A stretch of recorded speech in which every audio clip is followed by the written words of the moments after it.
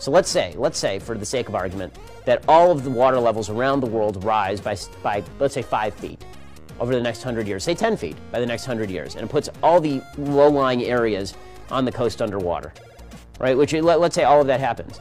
You think that people aren't going to just sell their homes and move?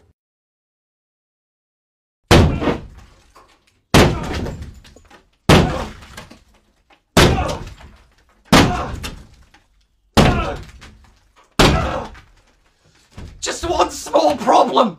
Sell their houses to who, Ben? Fucking Aquaman!